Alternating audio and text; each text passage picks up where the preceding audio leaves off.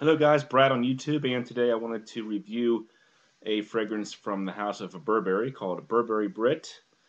This is a decant sample that Tony sent me. Code Horror is his uh, channel name. Thanks again, Tony. Um, I've been trying this fragrance out for about three straight days now. I'm really trying to get a good feel for this fragrance. Um, this came out in 2004. It was classified as an Oriental Woody, and uh, over Basenotes, 87 positives, 29 neutrals, and 32 negatives. The note breakdown on this one, we have um, mandarin, ginger, bergamot, and cardamom in the top notes. In the middle notes, we have nutmeg, cedar, and wild rose. And in the base, we finish off with tonka bean, patchouli, oriental woodsy notes, cedar, and gray musk. So, um, when I first applied this one to my skin, uh, just to get my first impression of it. I was really impressed with it. It had a very elegant, sophisticated smell. Kind of reminded me a little bit of Paul Smith Extreme in a way. It had that uh, British elegance to it. You know, um, has a spicy bergamot slash orange type smell to it.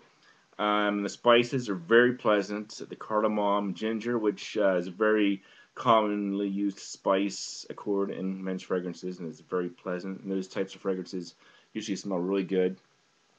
Um, so uh, yeah, the image I kind of get with this one is picture you're uh, in England and you're doing some shopping in some quaint little town, and you kind of walk into a shop and they're selling like uh, all kinds of different things, but you notice a little table and there's this little tin canister, and you open it up and it's like a shaving talc and it's got like uh, some crushed oranges and spices and maybe just a touch of uh, rose in there. Uh, so yeah, that's kind of the, the vibe I get from Burberry Brit. Just a very elegant, sophisticated, almost like a British um, sophistication, like shaving talc type thing going on. Um,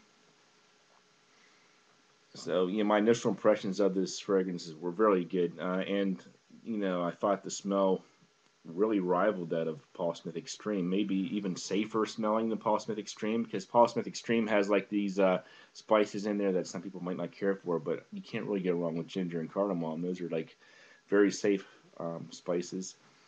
Um, so I was like, wow, this is like a 9 here, 9 out of 10 in the smell. So uh, I applied it to my skin. You know, I wore it three days straight. Um, I was kind of struggling with this one. Um, I put this stuff on my neck, a couple sprays, and I don't know. Sometimes I have trouble smelling it, especially after a couple hours. Um, so I try to over apply, and then you get like this very like uh, powdery cloud around your head, and that's you know not real pleasant either. So I was having a hard time just kind of striking a balance on how to apply this fragrance properly. Um, so overall, I'm going to give this one about a seven and a half. Uh, I think it is a very well done powder scent. Uh, if you're looking for a powder and you're over the age of 25, I think this would be a great one to try. Um, if you're under 25, you might want to try something like Armani Diamonds instead, which is like a more youthful, playful type fragrance with, with a powdery vibe. But uh, this one, I think, is more for the mature man. It doesn't have an old man smell to it, just a very elegant, mature smell, I think.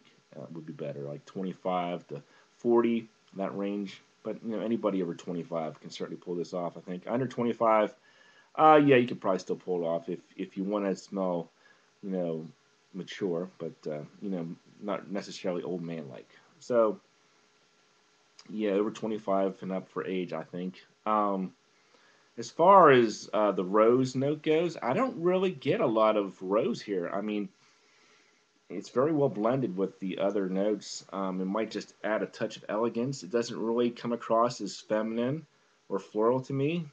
I can certainly get the powdery vibe, and maybe that's why some people don't like it because of uh, the powderyness of it, but uh, doesn't really come across as feminine. So also, if you uh, want to try a fragrance that uses rose notes, this would be a great one to, to pick up and, and try out because uh, the rose is very well blended here. It's not an extreme rose type thing where it's going to smell uh, very feminine or anything. So some people still think it's feminine. I, I see it as uh, strictly masculine myself.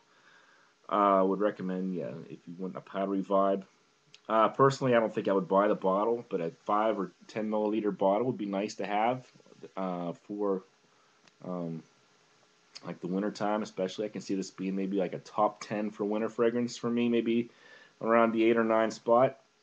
Um, maybe wear it a couple times a month during December, January, February. Um, so not bad, guys. Um, one of the better ones that I've tried lately. Uh, like I said, I do have some trouble just finding a balance when I apply it. Um, it, it really seems to go from overly strong to overly weak in a very quick amount of time uh, when I try this one out. I'm not sure if anybody else has had that happen to them, if it was just a fluke with me or whatever, but uh, um, but the smell itself is, is quite well done. So those are my thoughts on Burberry Brit. I hope that helped you out, guys, and I'll talk to you later.